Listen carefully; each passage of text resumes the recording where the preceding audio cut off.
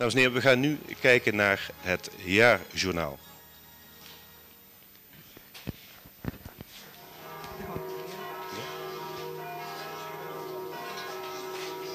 Welkom bij het jaaroverzicht van 1994.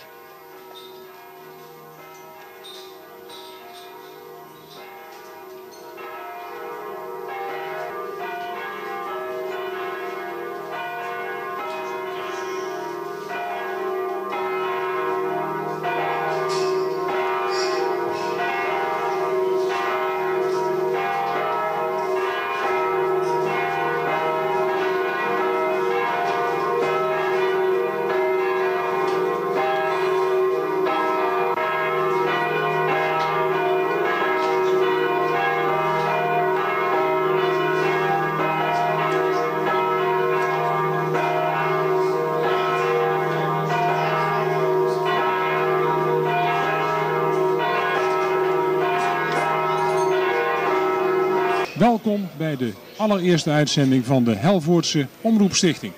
Voor u Zo is het begon nieuw, de eerste omroep, uitzending. is Op nieuw. 29 De eerste oktober uitzending 1993 laat de plaats ontving de HOS uit de handen van de PNEM de apparatuur ten behoeve van lokale tv-omroep. overdracht van het centrale antennesysteem van de gemeente Helvoort naar de PNEM, de provinciale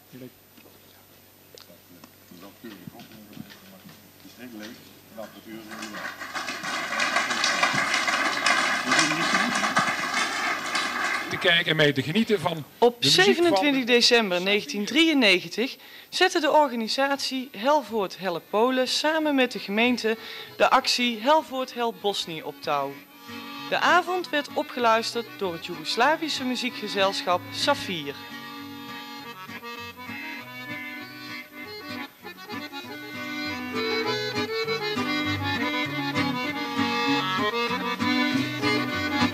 Gesprekken over een aantal, denk ik, herkenbare 1994 was het jaar van de verkiezingen met onder andere de gemeenteraadsverkiezingen. Ik mag van deze kant uit. In samenwerking met Kies Gerust organiseerde de HOS op 20 februari het Politiek Café.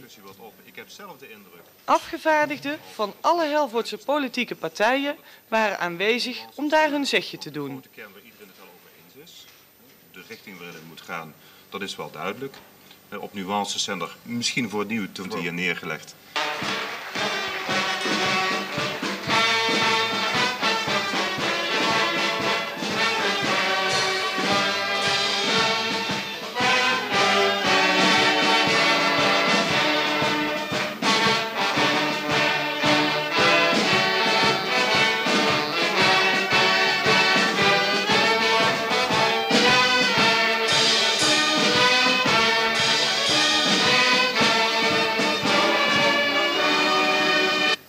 Van bouwbedrijf Carnaval Helvoort 94 begon met Tom praten.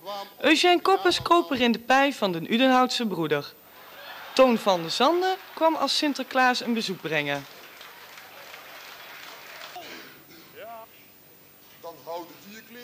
Een van de drie debutanten in 94 was René Scheffers. Als tweede debutant trad Piet Vermeer op als Piet de Naaien. De boerderij op het hoog had al meer dan genoeg gekost. De derde debutant, tevens de enige vrouw in het Tompraatgezelschap, was Ans Veerkamp. De grote winnaar van Tompraten 94 was Huub Poels als Hos de Kabelbos. Al zo wordt alles anders. Het dubbel-trubbel trio ging samen in bad.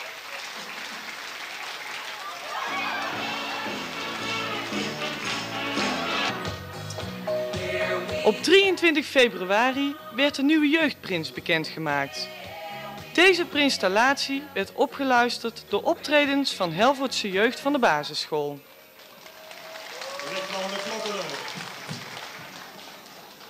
Hiermee installeer ik jou tot prinses over het Prinsencarnaval Helvoort. Prins Marnix en prinses Anouk richten nog een woordje tot de Helvoortse jeugd.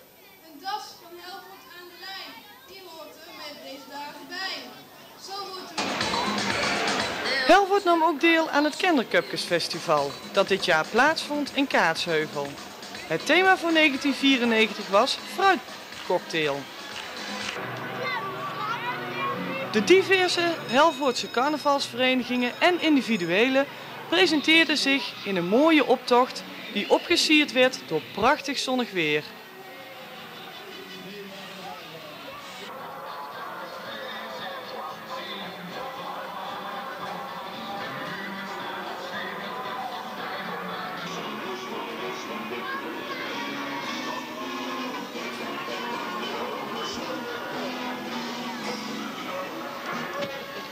Koeverbranden maakt een einde aan weer een feestelijk en zeer gezellig carnavalseizoen.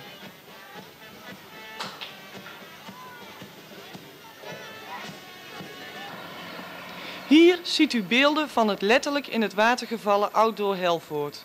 De storm veroorzaakte een enorme ravage, waardoor het evenement helaas moest worden afgelast. Volg over hoe de HOS maakte deze beelden van de opening van de hondenravotplaats aan de Raamse Loop, ook wel de Lei genaamd. het ook draait verkeerd. Het hebben van een hond brengt toch ook zijn verantwoordelijkheden met zich mee. je moet over de dat beestje lijst ook iets te het vertellen. Hoe dat ze dat allemaal Daar, doen, eh, wellicht dat de talloze. Hier werd onder andere een demonstratie gehouden door Hondenschool Haren.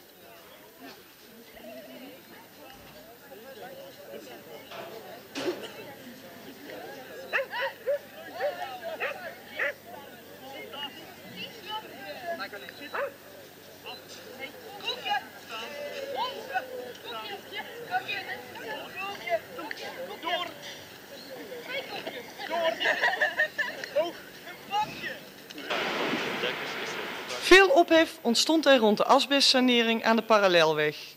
Dit gebied moest bouwrijp gemaakt worden voor de aanleg van een bedrijventerrein en een ontsluitingsweg. mij meenemen en de restanten zouden door de gemeente opgeruimd worden.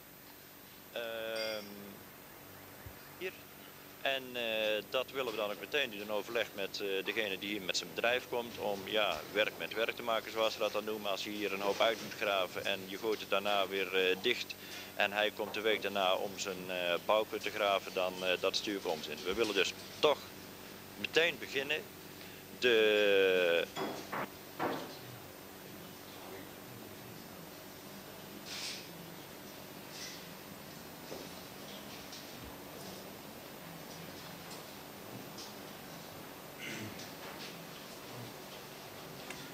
Het paaseieren. Het traditionele paaseieren ophalen door de Helvoortse basisschoolleerlingen dreigt ten onder te gaan. Een actiecomité is opgericht om de jarenoude traditie in ere te houden. Richting per auto over de Rijksweg gezet. Routes werden herzien en opnieuw verdeeld. Omdat steeds meer kinderen op de woensdagmiddag andere verplichtingen hebben, werd ook het overblijven afgeschaft. Een actiegroep is inmiddels opgestart. Wellicht horen we nog iets van ze. De HOS houdt u op de hoogte. Hij is toch zo mooi? Hij is zo lelijk. Nee.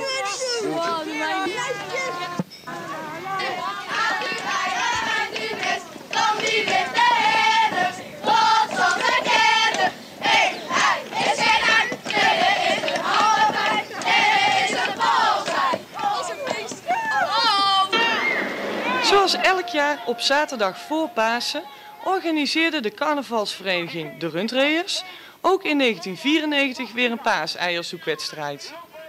Veel Helvoortse en Kromvoortse basisschoolleerlingen doen daaraan mee. Elk jaar weer een groot succes. Nu oplopen. Ja! En om half vier is de vrachtwagen hier dus allemaal goed aan zoeken. Kan zoeken? Heb je geen tas? Ga maar wat zoeken. Loop maar met die mevrouw, niet met die achter. Op Koninginnedag maakten de basisschoolleerlingen met vrolijk opgesierde fietsen een optocht door het dorp. Natuurlijk muzikaal voorafgegaan door onze eigen harmonie Kunst Adelt.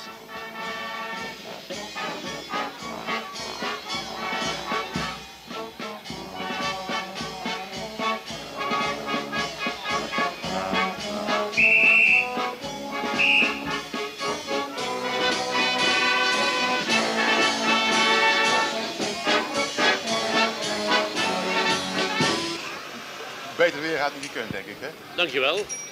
Ja, Ook de vendelzwaaiers droegen hieraan een steentje bij. Heb jij ook mee gefietst? Gefietst. En weet je ook waarom dat je gefietst hebt? Nee.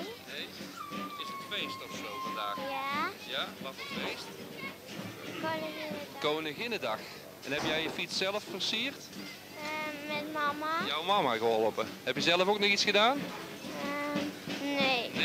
Maar je hebt alleen gefietst, dat is ook vermoeiend hè? Ja, natuurlijk. Wat vind je van die vlaggenzwaaiers? Mooi. Mooi hè? Kunnen ze ook goed hè? Allemaal gelijk? Ja. Ja hè?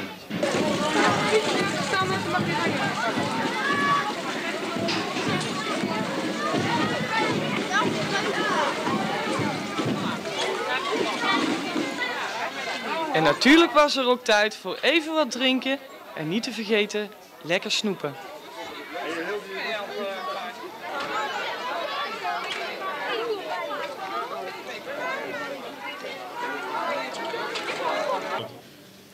Hier ziet u beelden van de opbouw van het Helvoorts Weekend. Tevens hoort u een gedeelte van het interview dat Martin Keizers had met Adrie Witloks. Het zijn heel veel complimenten op elkaar, maar ik denk dat jullie ze verdienen als hooi. Hè? Hoe krijgen jullie toch voor elkaar om zoveel vrijwilligers te mobiliseren? Elk jaar weer opnieuw. Ja, dan moet je denk ik een stukje gaan kijken naar, de, naar het verleden. Hoe is Helvoorts Weekend ontstaan? En eh, hoe gaan die op de dag van vandaag om met hun activiteiten, met hun organiseren van een Helvoorts Weekend? Dan zie je het volgende. Het is eh, een, een vaste werkgroep, bestaat het Helvoorts Weekend uit. Die mensen die komen al heel vroeg bij elkaar, dus die zijn vanaf net na de vakantie beginnen ze aan volgend jaar Helvoorts Weekend te werken.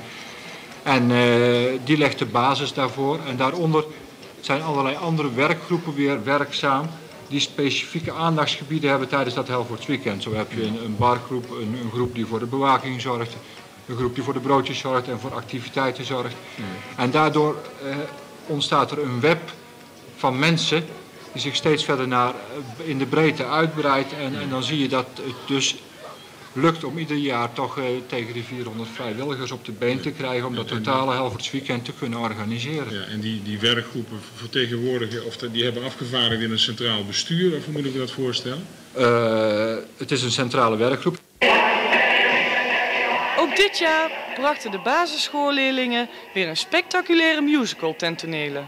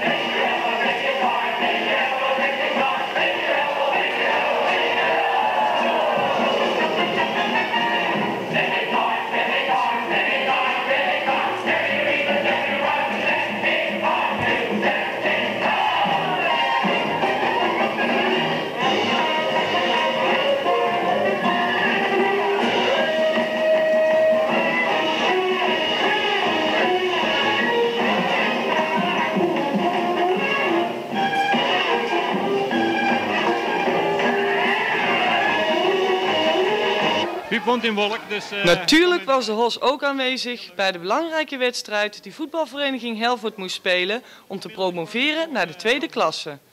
Het commentaar komt van Piet van Weert. Is de druk eh, op onze eigen goal eh, niet aanwezig? Ja, hij valt er zo in. Hij valt er zo in. Ja. Ik schrijf op naam waarop men omhoog gaat hoor. Ik ben een beetje chauvinistisch. Volgens mij was het een eigen doelpunt.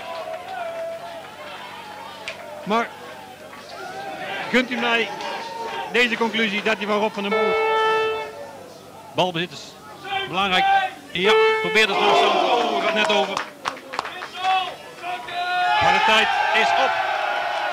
Het is over en uit. Helvoort naar de tweede klasse. Ik had het al gezegd. Ik loop even naar het veld. Als iedereen wil helpen met de kabels. Dit is te gek. Is alles opgenomen jongens? Staat alles erop? Moet ik even kraaien mee, hè?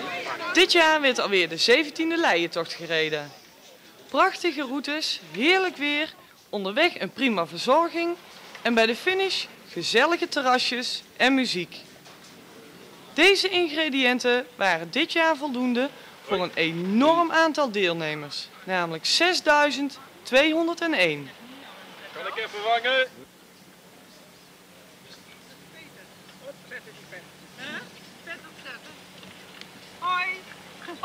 Hoi. Is dat wat voor de story of Ja. voor de ramen? Of wat?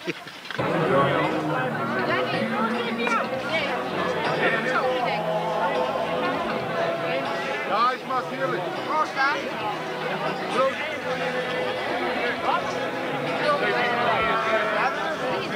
kilometer. Even voor de mensen van de pers. Brabant Dagblad onder andere nagegaan en dat is het aantal. Een 6, een 2. 28 augustus werd voor de eerste keer het Oogstdankgavenfeest georganiseerd. De bedoeling is dat dit een jaarlijks terugkerende traditie wordt, waar Helvoort onder het genot van een hapje en een drankje gezellig onder elkaar kan zijn.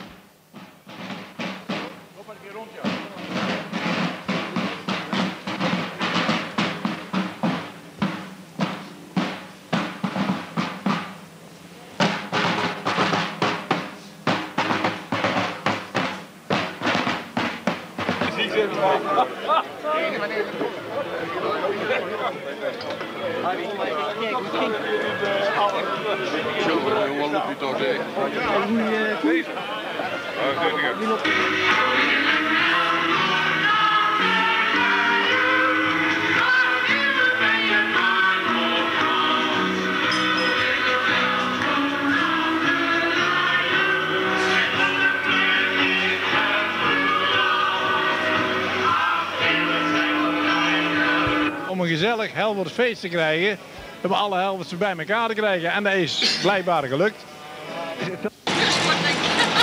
Dit jaar nam Harry Jansen afscheid van de vrijwillige brandweer van Helvoort.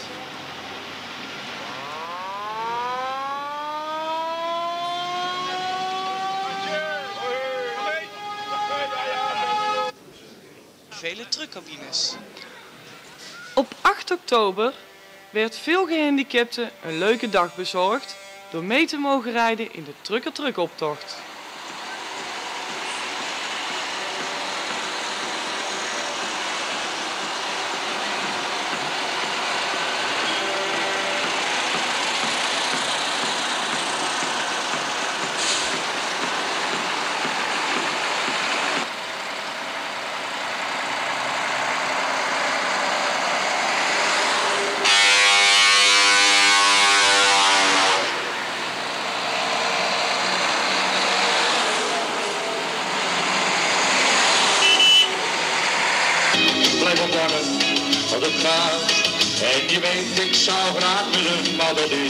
Niet.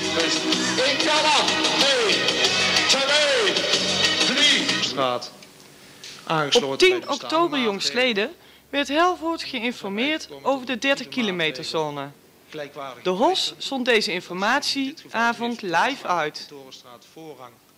Intussen zijn diverse werkzaamheden al uitgevoerd. Dus gezegd, al die wegen moeten gelijkwaardig worden. Verder eh, lag er eh, een heel du- duidelijke vraag over de oversteekbaarheid van de Torenstraat vanuit eh, de Broekwal en de omgeving. En dan is gezegd van nou kan er niet iets aan gebeuren, want alleen die drempel remt de snelheid wel iets, maar het is eigenlijk onvoldoende om goed over te kunnen steken. Overhoord, Torenstraat komt eerst aan bod. Volgend jaar de eerste fase, de hele harde kom zeg maar. Het jaar daarna, de laatste fase, dat is dan in 1996. Dan moet het een beetje afgerond zijn. In 1996 moet het afgerond zijn. U snapt dat wij heel bewust ervoor gekozen hebben om dat nu ook vast te leggen. Zelfs in eh, het investeringsplan dat er voor de begroting 95 op tafel ligt, hebben we al aangegeven dat we een deel willen reserveren voor het tweede deelgebied. Op 26 oktober 1994 was het 50 jaar geleden dat Helvoort bevrijd werd door de Schotten. Dit werd op 28 oktober op gedenkwaardige wijze gevierd. Het programma bestond onder andere uit een optocht door het dorp.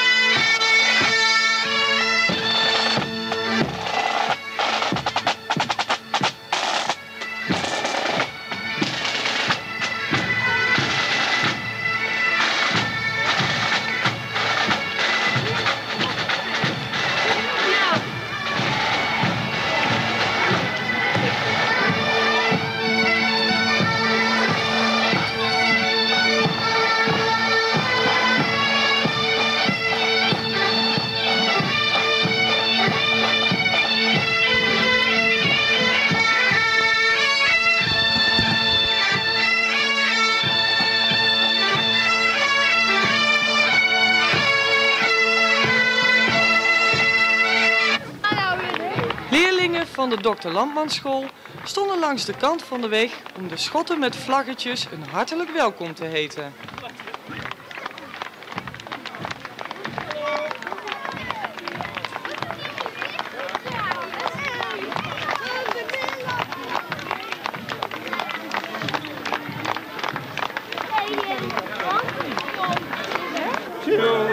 S'avonds was er een gezellig samenzijn in Gastenbos. Deze avond werd opgestierd door optredens van diverse Helvoortse verenigingen.